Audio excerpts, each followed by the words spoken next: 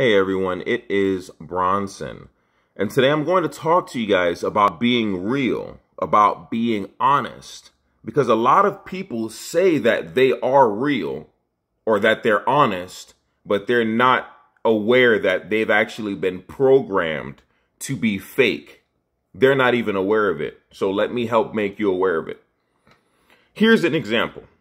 Let's say that somebody says a joke, right? And they think that what they said is funny. So you've been programmed that you're supposed to laugh at it to make them feel better, even when you don't think that it's funny. You're being fake. You've been programmed to respond that way.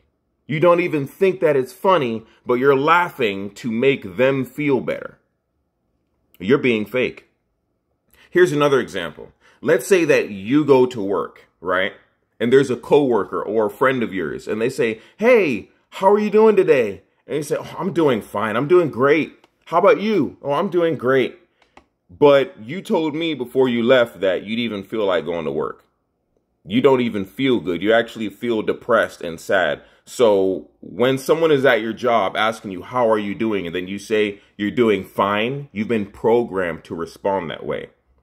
You're being fake. Stop being fake. Be real. Be honest with people. Let me read Hebrews chapter 13 and verse 18. Hebrews chapter 13, verse 18. Pray for us, for we trust we have a good conscience in all things. So, in all things, willing to live honestly.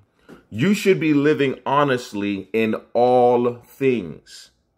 You've been programmed to respond to people in certain ways and you're being fake. Stop being fake.